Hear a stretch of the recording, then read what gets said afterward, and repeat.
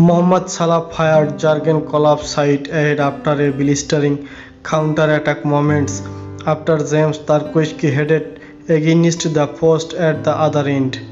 Liverpool sealed the point when Gakpo, who joined from PSV Eindhoven last month, scored from close range. Everton stay 18th in the table, one point from safety.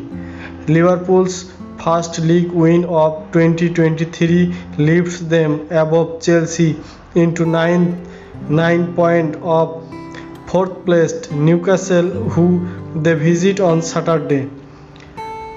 This was a much needed win for Klopp and his players after poor league defeats to Brentford, Brighton and Wolves in January as well as an FA Cup exit at Brighton.